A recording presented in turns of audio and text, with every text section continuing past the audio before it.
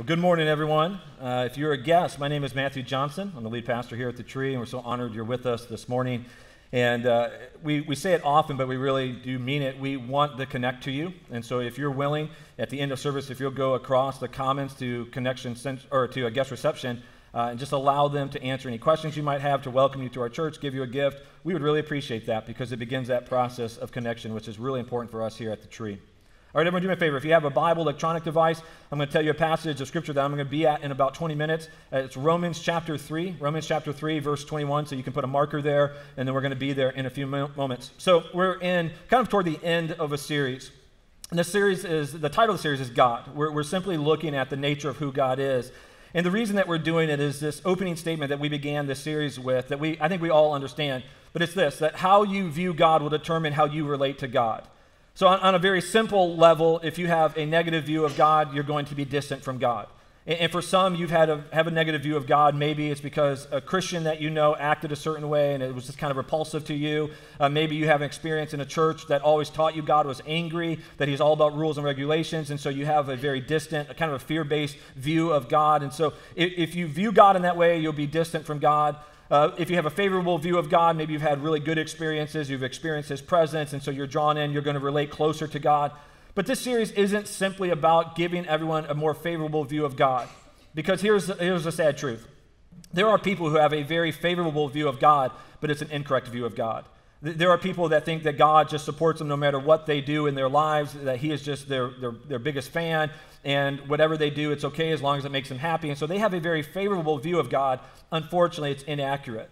And so the reality, and this is a very, very blunt way to word it, is they're not actually worshiping God. They're worshiping their own created image of a God, and so it's really idolatry. So, what we're trying to do in this series is to see who God really is based on how God has revealed himself to us in his word.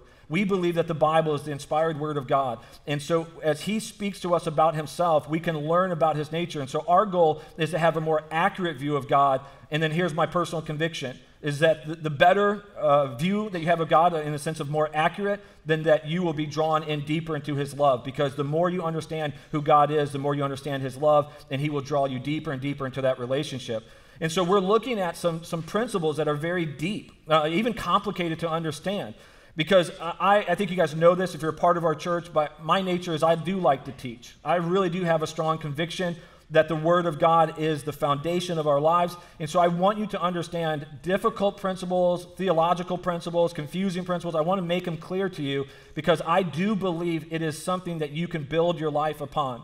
So in week one, we talked about the reality that God is holy, that He's just simply different than us. When we hear the word holy, we, we have kind of the simple view of it in the sense of purity and something that is sacred, and God is absolutely both of those. But when the Bible talks about holiness, it's actually talking about the transcendence of God, that He is just different. See, see, for us, it's very easy to apply to God our limited view of the world because we have a limited view. We, we are physical beings. We have a physical perspective, a limited perspective. And so it's very easy to project that upon God.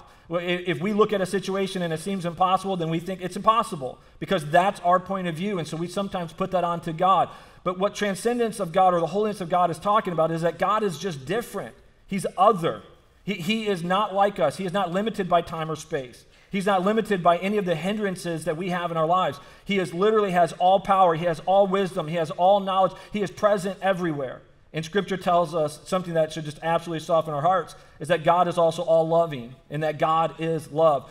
And so we began just recognizing God is different than us, but that God who is different than us wants to be in relationship with us.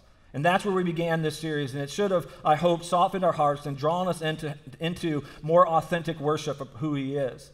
Then in week two, we looked at a very difficult principle the idea that God is a Trinity that God is one God. And Scripture is absolutely clear on this. The, the, the motto that all of Israel would say over and over is the Lord our God, the Lord our God is one.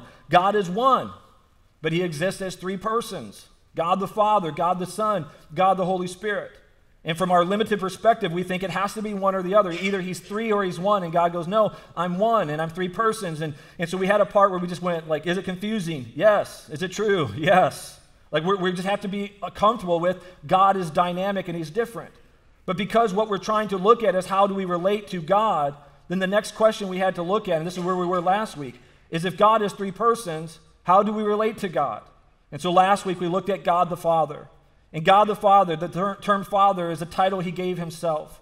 And it's not simply that God the Father is the Father of God the Son, and we'll look at that today, but that he is our Father. And this is even how Jesus taught us to pray, that we would go to God and say, Our Father in heaven. He wanted a father child relationship. He wanted to be that, that intimate, close relationship where no matter what we do, He still has His love toward us and He's still working on our behalf to get us to trust Him and to follow Him. But what we looked at last week is that God, the Father, has consistently done four things. So, first is that He created all. And all of God was a, part of that process. God the Father, God the Son, God the Holy Spirit. They created all. So all of humanity in, relation, in, in relationships. But the second thing that God did is that he immediately created a standard. And you need to know this because it gives us context for what we're looking at today. That God created a standard.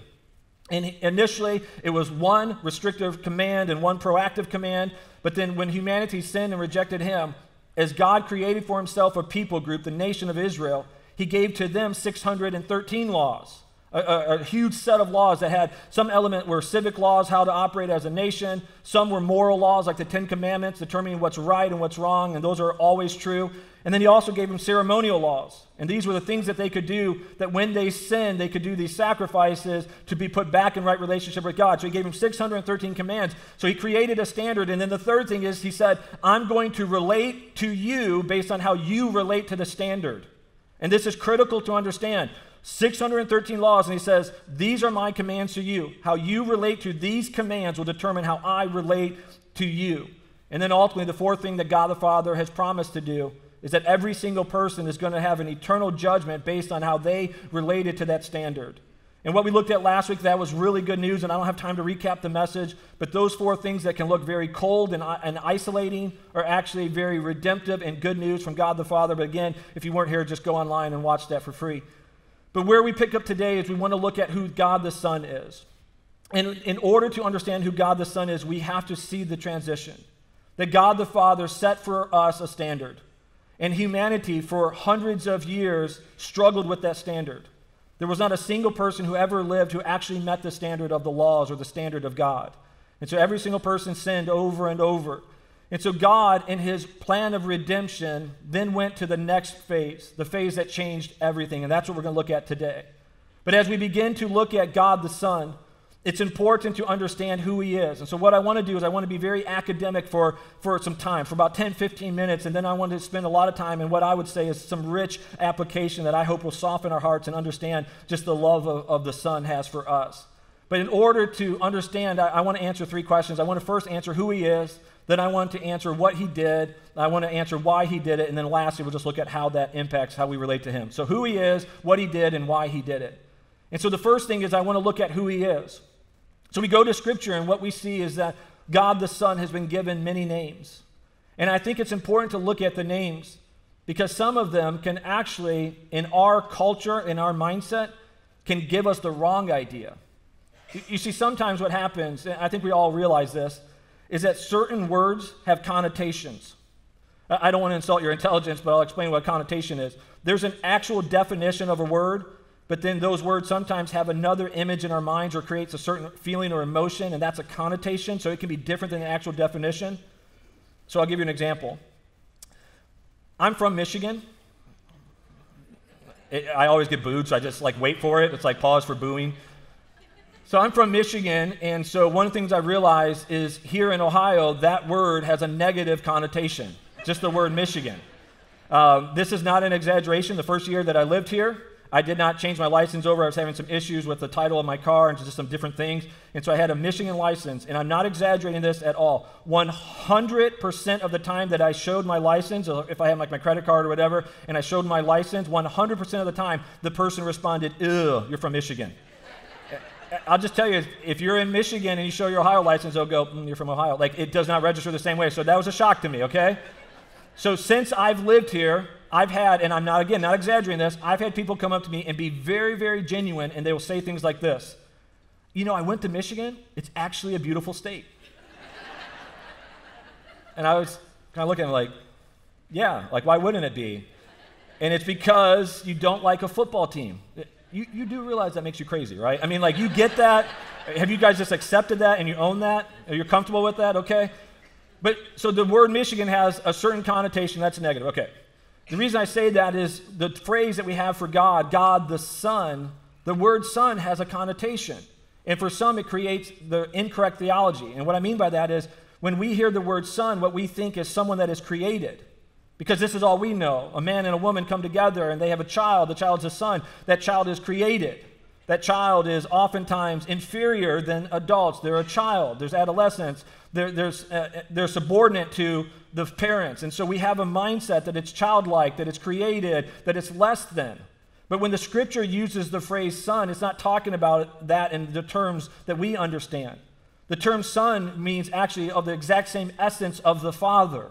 So, God, who has his essence, he is by nature God. It's who he is. A very blunt way to word it would be that he is made up of godness. He is God. And this is what it's declaring that his son is of the same essence. So, I, Mary and I have four children. We have three boys and a, and a daughter. All of our children are, at the most basic level, they're, they're human, but they also have our DNA. We are of a family together. So, if you do a DNA test, all of ours has some similarities to it. And this is what it's saying about God the Son. He is an identical, identical rep- uh, representative of God, He is of the same essence God. But also, the term son is talking about a position, the position of authority, a position of honor. He is the heir. And in that culture, they would have understood it that way that he represents the Father, that he is of the same nature the Father, that all things are entitled to him. So when we look at the scriptures and we see the Son, it's not talking that God the Son was created. He has always been. He is the same as God the Father, the same as God the Holy Spirit. We'll see today in scriptures that all things were created by him and for him. And so, where we begin is to understand that God the Son is eternally God. He has no beginning point, he has always existed. Then, the second term that is used for God the Son is Christ. You'll see often in scriptures, it will say Jesus Christ. And for some, I'm not making fun of you, I'm really not. For some, you think that's his last name because you see it in scripture, Jesus Christ. But Christ is actually a term meaning the anointed one or the Messiah. In the Old Testament, the first half of our Bibles that were pointing toward Jesus, after humanity sinned, God the Father launched a plan of redemption. And part of his plan is he kept telling people that one day there would come the Messiah or the anointed one, the one that would come and restore Israel back into their right position in a relationship with God. Israel completely misunderstood this. Israel thought that the Messiah would come and be another King David. King David never lost in battle. He was never conquered by another nation. And so they thought he would be a military king that would come and restore them to a place of power and prominence and blessing. What they didn't realize, it was something much greater than that. That God the Father was sending the Messiah to restore them to a right relationship with God and that he would forgive them of their sins. But this term Messiah was one that all of the prophets talked about. That all of the scriptures were pointing toward the anointed one, the Christ that would come. So when Jesus came and he accepted that name, where it says Jesus Christ or Christ Jesus, he was declaring to the world, I'm the one that has been prophesied about. I'm the one that came to save you. Another term that he was used to describe God the Son is the Word. And the, well, what you understand is words are the best way to express our feelings and our emotions. Um, so, like my wife, she's really good at communicating to me with nonverbals, right? Anyone else have a spouse that's that way? Like you guys are like, I'm not laughing at that joke. That's awkward, all right? Except for the dude right in the middle who had his hand super high. Is that you, Howard? All right. But so my wife can communicate in nonverbals, but the best way that she communicates to me her emotions, her feelings, is through words. We get that. Words is the best representation. And God the Son was referred to as the Word. In 1 John, it described him as this way In the beginning was the Word, and the Word was with God, and the Word was God. So Jesus came as the perfect reflection of the nature of God. He is the perfect example of God's wisdom, of God's nature, of God's glory. And so, as we look at this, to do a quick recap, is that God the Son, this position of authority, of the same essence God, who also is the Christ, the one who has come to save us, to redeem us from our brokenness and our sin. He is also the perfect reflection of who God is, his nature. But then the fourth term that is used to describe God the Son is actually the most popular word that's understood, understood in our world. It is the most popular name that is known in our world. Billions of people today on this planet worship this person and this name, and the name is Jesus. And Jesus was given as God, as God the Son became God the man, this was the name that was given to him. If you know the story, as God decided to become man and to take human form, he chose a, a woman, and I think even better, better said is that it was actually probably a young lady or a young girl. Uh, at that time, they married about the age of 13 and 14 and 15, uh, really just out of necessity because people died much younger. And so, Mary, the mother of Jesus, was probably about 14 years old. And she received this prophetic word, and she met this angel, and the angel told her, You are going to give birth to the Son of God, even though she had never been sexually active. And so she became pregnant. But at this time, she was engaged to be married to a man by the name of Joseph. And Joseph knew that they had never been sexually active, but yet she was pregnant. And he seemed to be somewhat of an honorable man because he, he, he wasn't going to let the, the whole city know and have her put to death because of her sin. Instead, it said he was just going to quietly put her away and then just move on with his life, like he would divorce her in the process of being betrothed. And yet, this angel appeared to him and told him, No, this is what happened, and explained it to him. But in the process of meeting with him, this is what the angel said She will bear a son, and you shall call his name Jesus, for he will save his people from their sins. And so, God became man. God the Son became God the man. And in this moment, when this happened, it was a powerful moment because for the first time in human history, God took the form of his creation. And, and there's a theological term, you don't need to remember this, but it's important to understand the principle behind it. It's the hypostatic union. It is the joining of two separate natures. And in the first time ever, we have the human nature joined with the supernatural nature of God. And in this moment, he became fully God and fully man. And we need to understand this truth because as Jesus came, he was not part one and part other. He was fully God, fully man. And this is just a simple, simply another example of the dynamics of who God is. You know, we, we look at him being eternal, we can't understand that. He never had a, a beginning point, correct. Then we look at the fact that he has all power, but there's some things he can't do, and we go like, how is that, how is that possible? And it's just, it's true about him. He can have all knowledge, but limit his knowledge. He can be present everywhere and choose not to be present. He can, he can simply not uh, be dependent upon time or space. He is three, and yet he is one. I mean, there's so many things that are dynamic about God. But as God the Son became God the man in the person of Jesus, in that moment, he was fully God and fully man. And as we look at how he was fully God, he was fully God in that he had always been God. There had never been a point that he wasn't God. Scripture will tell us that we'll see in just a moment that actually you can put it up right now in John 1 3. All things were made through him, and without him was not anything made that was made.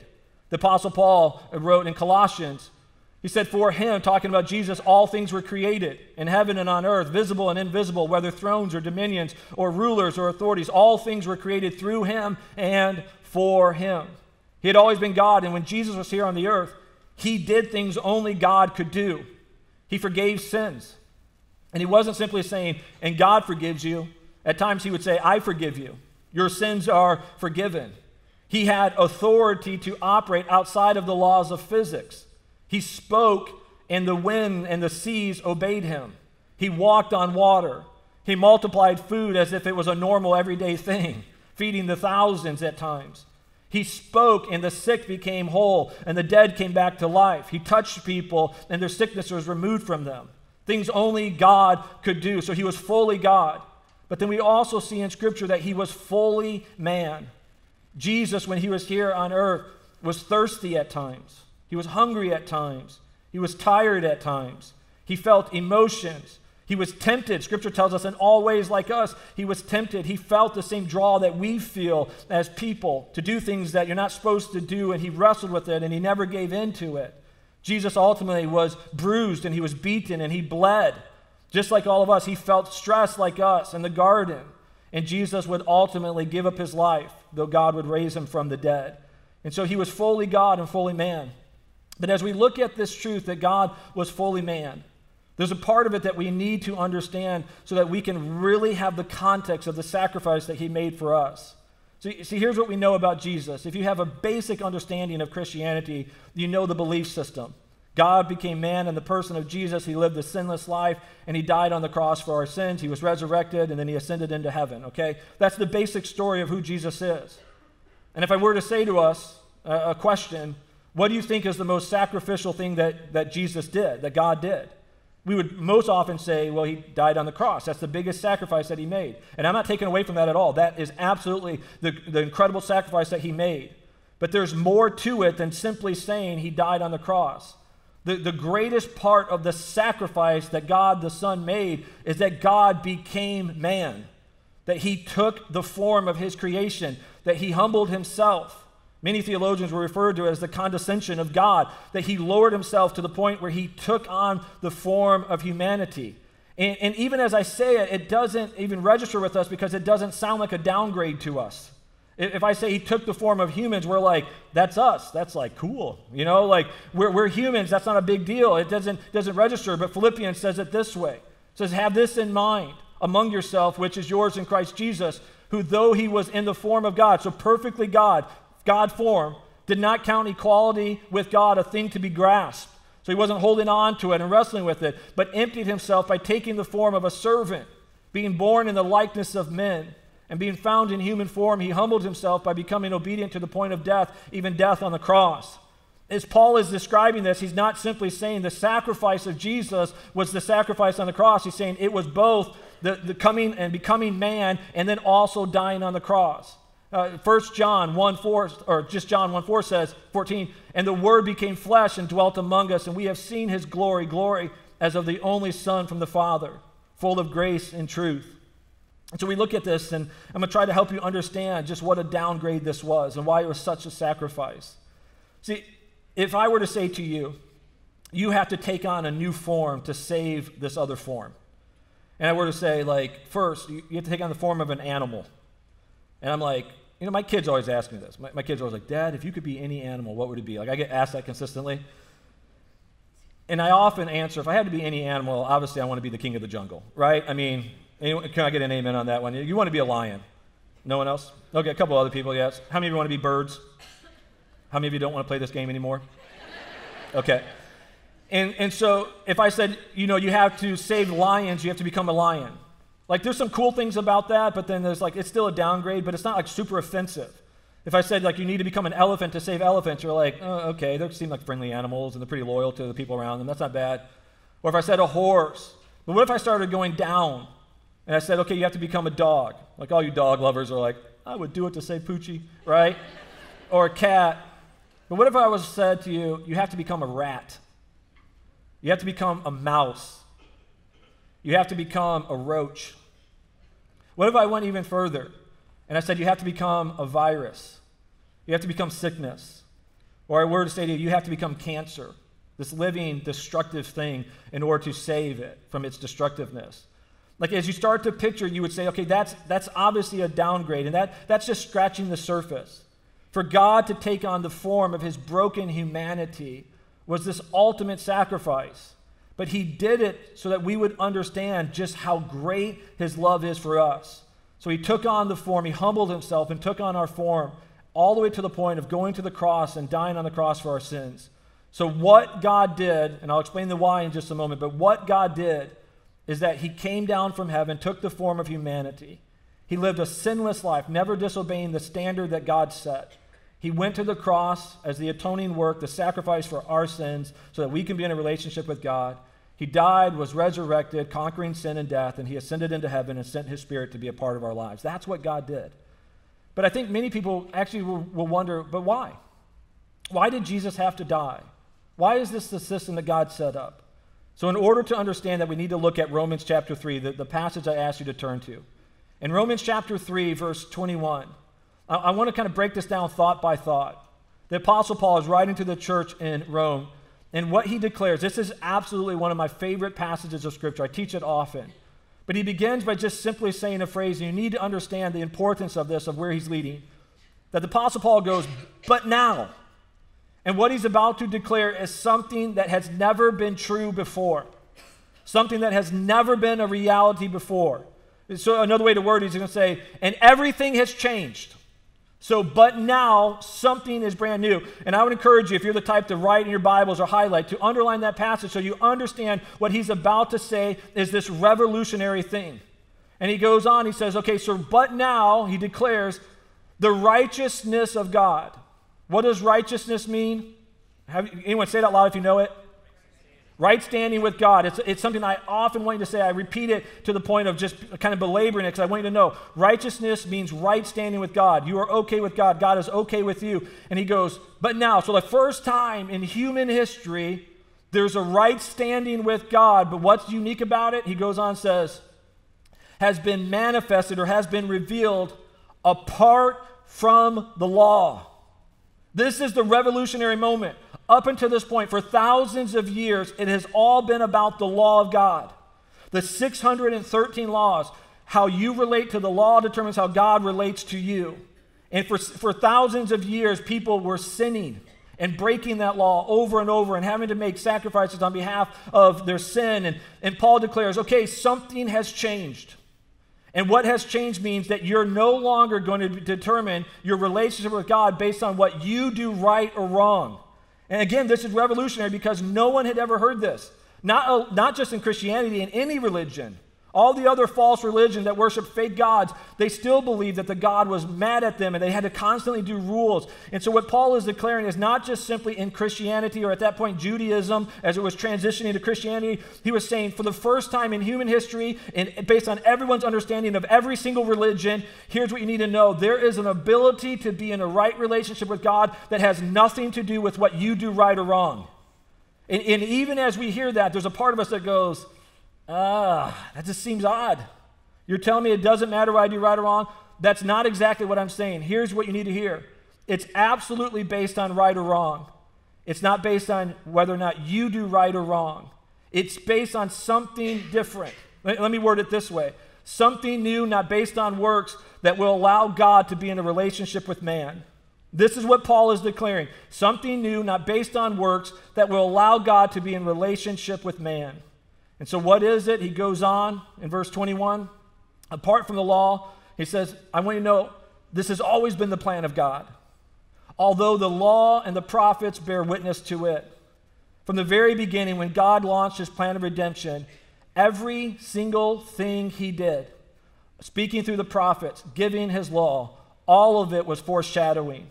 All of it was a type, it was imagery that was pointing toward what something would come later that would be greater. He says, so all of it was pointing toward it. And then he goes on in verse 22. The righteousness of God, the right standing with God, how do you receive it? Again, not based on right or wrong, not based on the law. He says, through faith in Jesus Christ for all who believe. This is open and available to anybody and everybody, all who will believe, for there is no distinction. And just stop here. He says, This is how you receive it. It's no longer based on doing right or wrong because we don't do that. It's based on faith or trust in Jesus Christ. What at this point Jesus has already died, been resurrected, ascended into heaven, and he's saying you have to have faith in him. Now here's what we know. Will that faith lead you to do right? Yeah, absolutely. It is the faith that says to God, God, I believe you are who you say you are. Jesus, I believe you are God in the flesh. I believe that I need to be in a relationship with you. I believe I need to die to myself and surrender my life to you. I believe that the pathway you've laid out in front of me is the wise way to live, and so I'm going to walk in obedience. I trust you with all that I am. And God says, This is what it's about. It's not about right or wrong. That's been covered, and we'll, we'll look at that in a moment. But He says, It's about do you actually trust God? And I could even make the argument easily that this has always been the heart of God. Do you trust me? From the very beginning in the garden, don't eat of that tree. Why? Because I want you to trust me. As he gives them 613 laws. Why do you need to obey these? Because you need to trust me that I'm your God. And now he says, this is the relationship. It's based on faith in Christ Jesus. He goes on to say, For all have sinned and fall short of the glory of God. So who does this apply to? All of us. Do we deserve it? No. He's saying, no, we, we've all sinned. Literally, every person who has ever lived has broken the law of God. No one has ever qualified. No one has ever lived the standard perfectly. So, this connects to every single one of us, this message. He goes, Every person has sinned, but then here's the good news and are justified by his grace as a gift through the redemption that is in Christ Jesus. What Paul is talking about, that God is offering to us, it's not based on what we do right or wrong, because if that's the case, it's something we deserve. And if it's something you deserve, that's called wages. But what he's saying is this is a gift. You don't deserve it. God is giving us the ability to receive grace so that our lives can be transformed from the inside out, that we can be forgiven, the Spirit of God can come inside of us, and He can transform us. But it doesn't begin by doing enough right, it doesn't begin by stopping the wrong. It begins by just saying to God, in whatever condition you're in, as, as ugly as that can be, as, as broken as that can be, as hateful as that can be, in that condition, saying to God, God, I need you right now. I trust you. And in that moment of faith, you receive the gift from God, and He begins His work inside of you. And then He goes on and says, Whom God put forward, and this gets some big words, we're going to break it down, put forward as propitiation by His blood. Just remember that phrase. It's not one we commonly use, but I'll explain it in a moment. Propitiation by His blood to be received by, say it out loud, by what? Faith. Just note that it's received by faith. This was to show God's righteousness because in his divine forbearance he had passed over former sins. And I want to stop there and I want us to understand what took place on the cross. If you can use your imagination with me for a moment, it, actually works well that I'm on a stage because it will help you with the visual of it. But I want you to imagine that right next to me is the cross. And on the cross is Jesus being crucified. And so you, as people, represent humanity and then God is up in heaven. In the moment where Jesus was on the cross, he was doing two separate things at the same time. One was downward and one was upward. The first thing that he was doing is he was downwardly providing redemption for mankind. He was taking our sin upon his sinless body and he was dying in our place. And he was doing that to redeem us. So in this moment, it was going down to humanity. It was this gift of grace covering all of our sins, dying for all of our sins. But in the same moment as he's on the cross, there was something else going on upward to God the Father. It's propitiation. He was satisfying the just nature of God because all of our sins deserved something. In Romans chapter 6, it words it this way that the wages of sin is death. All of our sin deserved death. And so we need to understand that God in heaven wasn't simply just ignoring our sin. The God in heaven wasn't like, okay, we tried plan A. It was, you know, gave him a bunch of laws and, and, rules and different things. That didn't work. So let's just go to plan B. Plan B is I don't really care about what you do right or wrong anymore. It's not a big deal. That's not what's going on. God, in his perfect justice, had to punish our sins. Our sins demanded death. And so what we understand is in our in our culture and in our lives is that the guilty deserve to be punished. That's justice. If, if we see it in the news, where someone commits a crime and they get caught and they go before a jury and or a judge and they're declared guilty and then they have a consequence to it they sentenced to time or whatever it might be. As we see that we, we don't like for us we don't get upset by that. If the person is guilty and they, and they have punishment we go that's justice. That's how it should be. Matter of fact i think in our culture more often we get upset that the punishment's not harsh enough that's when we you see people protesting because that's injustice. When the guilty are, are justly punished, we celebrate that. That's justice. But when the innocent dies in the place of the guilty, willfully dies in the place of the guilty, that's grace. That's a gift. And that's what Jesus did. Is he stepped in our place because God demanded that our sin be punished. God demanded that there be death because that's what sin always requires. And so when Jesus was on the cross, downward to us it was redemption, but upwards to God it was satisfying his requirements because God demanded it because he's a just God that cannot go against his own nature. And up until this point, it said in his forbearance he had left our sins unpunished. And then it goes on and it describes it this way it was to show his righteousness at the present time so that he might be just you need to understand this. This is really good news, and I'll explain why in a moment. God cannot be unjust. He had to punish the sins.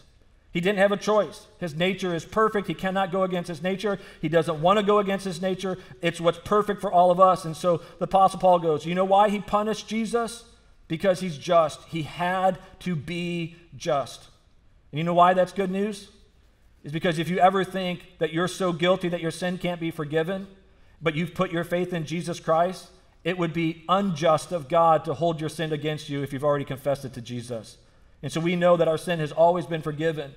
And so he says to this, not only to be just, and then here's the key, but he also wanted to be the justifier of the one who has faith in Jesus. He wanted to be both just and the justifier. What does this mean? I think this past week we had one of the most powerful and beautiful physical examples of what this means. Uh, for you that follow current events, sometime in the past year or two, there was this tragic situation that took place in Dallas. Uh, this lady police officer was coming home, and she went into her apartment complex and, and we still don't know exactly why, but she went to the wrong floor. She thought she was on her floor, but she went to the wrong floor. She goes and she opens up a door. She thinks it's to her own apartment. She opens it. There's a man in her apartment that's sitting there. What she thinks is her apartment. It's actually his apartment. She opens the door. She sees this man. She thinks he's an intruder. She pulls her service weapon. She shoots him and kills him. And obviously, he's in his own home. On top of that, there was the racial dynamic. She was a white police officer. He was a black man. And, and you know the tension we felt in our country over that. And so this woman uh, went through the trial. And just this past week, she was convicted. And so part of the process is she re- they receive the verdict, she's convicted. Then they also do sentencing. And at the sentencing, they invite people to come up and to speak on behalf of both the victim and then also the, the guilty party. And so different individuals got up. And this man who died, his name was Botham. And his brother gets up and shocks everyone because he doesn't tell anyone what he's going to say, doesn't even tell his own family. And he gets up and he starts to speak and he starts to say things that nobody expected. He, he looks at this woman and he's just staring at her. And, and the, the, the view that I saw was just, it was a camera focused on him. And he looks at her and he says, I just want you to know I forgive you. And I don't wish evil upon you. I'm not going to come up here and say that I wish bad things would happen to you. And he goes, I don't, I haven't even talked to my family about this, but I want you to know I don't actually want you to even go to jail. I want you to live a life and I want you to be happy. And he says, I love you. I love you as a person. And he said, if my brother was still alive, here's what he would want. And he, he, first, before he even said that, he said to her, he goes, I forgive you. And if you ask God, God will forgive you too. And he says, if my brother was alive, here's what he would say to you. He would want you to give your heart to Jesus Christ.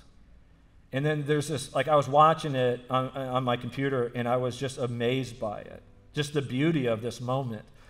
But then he, he transitions and he asks a special request. And when he did, I'm sitting there in my office watching on my computer, and I just started crying.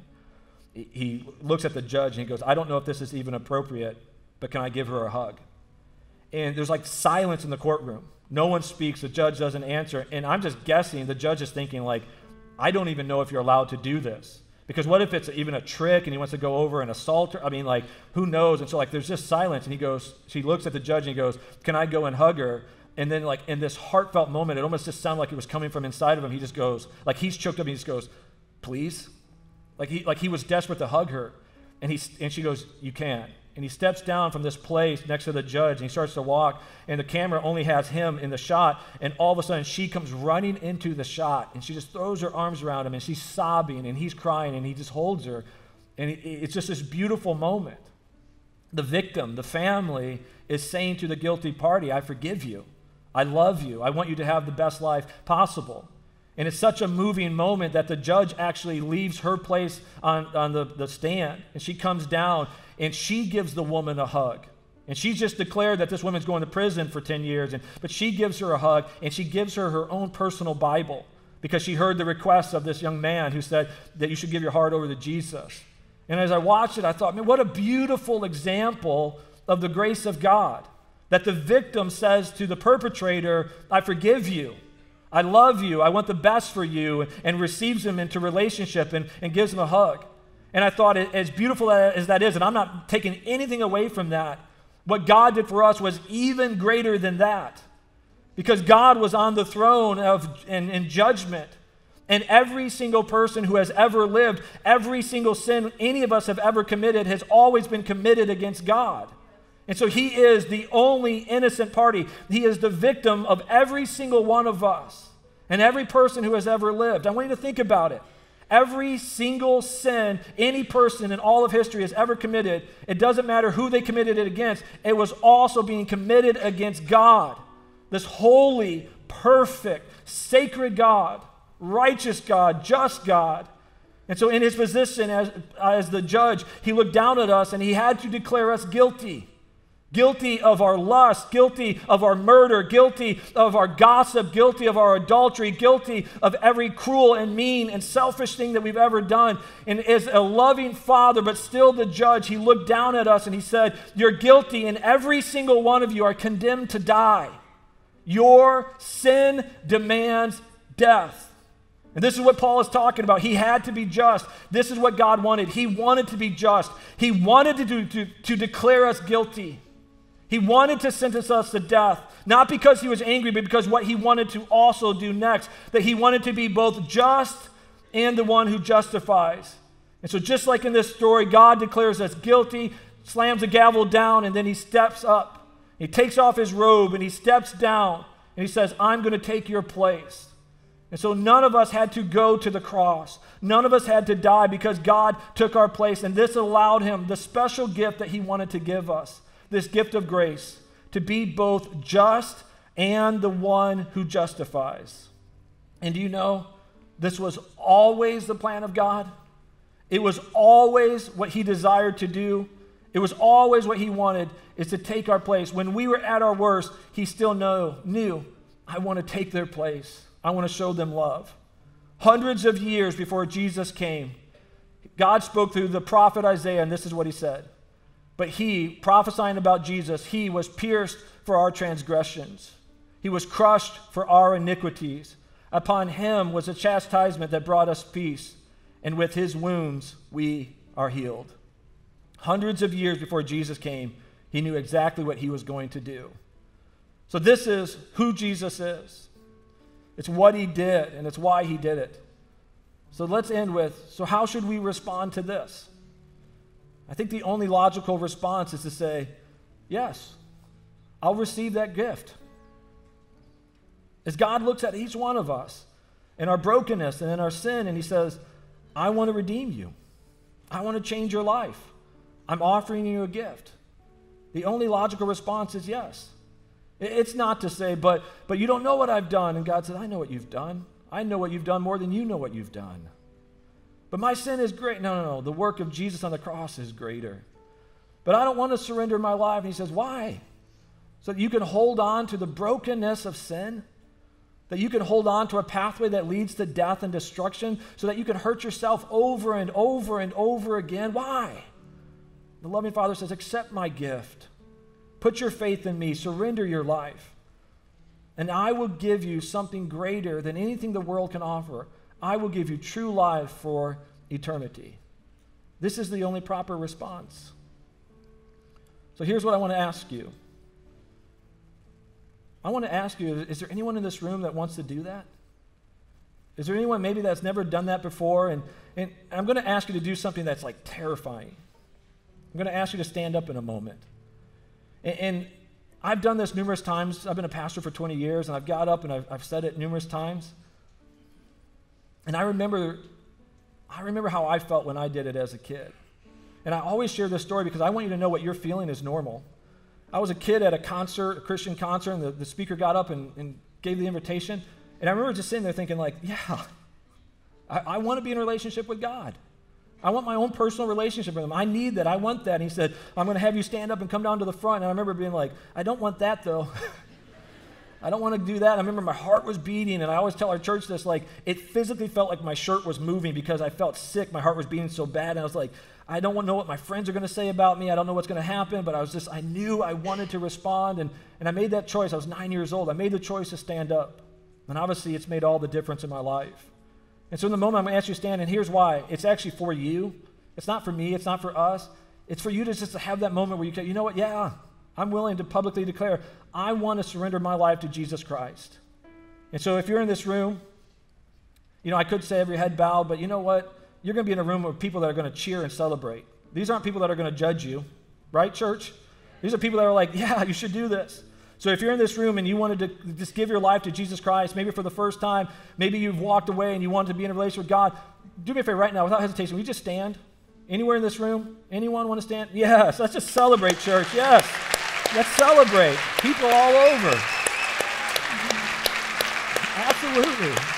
Anybody else? Anybody else?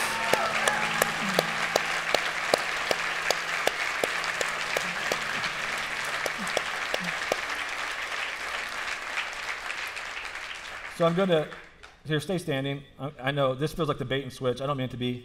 You do me a favor? We come to the front if you're standing. I know you're like, oh, you jerk. Okay, but come to the front just for a second.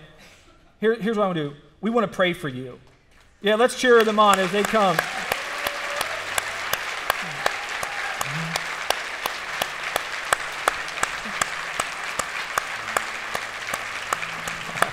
Anybody else? Yeah, keep coming, keep coming. Keep coming.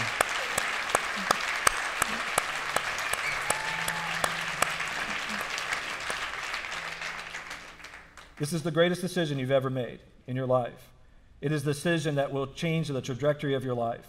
Jesus tells us that every single person, the broad path leads to destruction, and those who choose to follow him choose to walk on a pathway of life. But this isn't the end of the journey, this is the beginning. From this day forward, as you surrender your life to him, the Spirit of God has promised to be a part of your life, to meet you where you're at, to change you radically from the inside out, to, to just do incredible things in your life. And so for us, we, we know this. We've lived this out as a church, and we want to come around you and support you any way we can. So I want to take a moment and pray for you. And then I would just ask when you're done, uh, if you go to uh, Connection Central, let them know. We're going to follow up with you this week and, and just continue to give the support that you need. But, church, let's, let's extend our hands toward them, and all of you, if we'll pray. Jesus, we're so thankful that these men and women and children have responded to your call. We know you're the only one who saves, you're the only one who draws. And so they have felt your love. They have felt the truth of your word open up inside of them and connect to them and draw them in. And so I pray right now, as they experience their salvation, as you forgive them of their sins, we ask that your spirit will fill them, flood them, so that they can experience the love and the power that comes from being in a relationship with the Almighty God. And I pray that as they start to take steps forward, what will be in their mind and heart is to search, search out what your desire for their life is that they will change their perspective to want to follow your pathway of life. And even as you've said, the way that they receive this gift is through trusting in you. Help them trust you every single day of their lives, to trust you in the morning, to trust you in the afternoon, to trust you in the evening, to just walk in a relationship with you. And God, we are so excited. We know your word says that all of heaven right now is celebrating this moment. That when one person comes to salvation, the whole, all of heaven celebrates. And we as a church, we celebrate now too, Lord. We thank you for what you're doing.